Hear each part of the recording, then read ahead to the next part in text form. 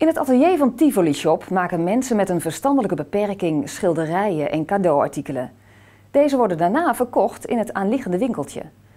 Bij Tivoli Shop vinden ze het belangrijk dat er niet alleen wordt gekeken naar de beperkingen van mensen, maar juist ook naar wat ze wel kunnen. Wij namen een kijkje en spraken erover met Loes Kemperman, activiteitenbegeleidster binnen Tivoli Shop.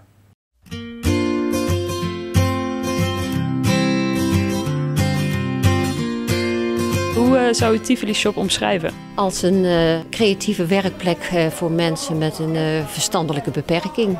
Waar wij in zinvolle dagbesteding proberen te realiseren samen met de cliënten. Er zijn hier twee groepen gesitueerd. Eén groep die werkt wat meer in, op het platte vlak. En, dat, daarvoor is ook een uh, kunstuitleen. Er kunnen schilderijen, uh, olieverfschilderijen of schilderijen ingelijst kunnen gehuurd worden voor een klein bedrag. En de andere groep werkt aan heel veel verschillende um, objecten en verschillende materialen. Dus meer in het ruimtelijke vlak.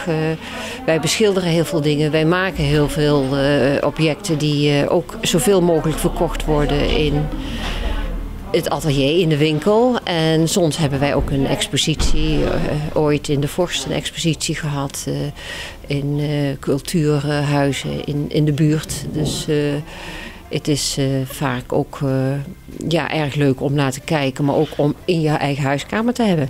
En ik zie hier ook veel dingen van keramiek staan. Maken jullie dat ook hier? nee, die worden op een andere locatie gemaakt. Ze zijn ook wel dagbesteding van ASVZ. En die zijn in Udenhout. Dus uh, wij uh, verkopen die hier in Tilburg. Wij kopen ook in van uh, andere zorginstellingen en dat is, wordt niet zoveel gedaan. Er wordt wel één keer per jaar gaan we naar een beurs en daar kunnen we wat inkopen. Die producten die ons aanstaan en denken dat we hier kunnen verkopen. Dat zijn kant-en-klare dingen, maar wij kopen ook om dingen te beschilderen. Bijvoorbeeld die vogelhuisjes, die kopen wij in bij, ook bij een instelling met mensen met een verstandelijke beperking die ze maken. En die beschilderen we hier en dan verkopen we ze. Iedereen die uh, wil mag hier komen werken. Je, het is ook mogelijk om eerst een tijdje stage te lopen en uh, je dan te oriënteren of deze werkplek iets voor je is. Uh, er zijn ook cliënten die hier bijvoorbeeld twee dagen werken en drie dagen op een andere werkplek.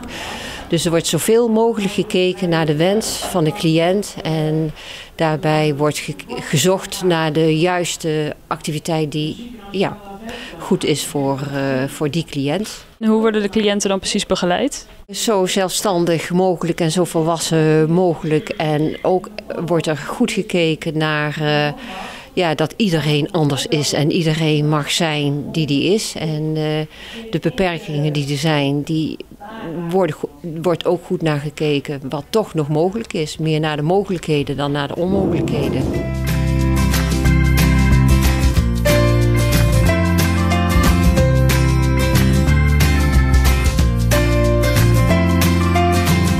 2010 werk ik hier al. En wat doe je dan precies hier? Schilderijen maken, hoofdzakelijk. Hè? Wat vind je het allerleukste aan hier werken? Ja, gewoon het is hier gezellig uh, met elkaar.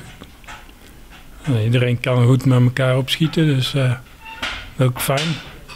En uh, ja, je kunt hier ook rustig werken. Je schilderijen maken en zo. En, ja, dat is uh, heel leuk. Dus uh, ja, ik hoop uh, dat ik hier nog lang kan blijven.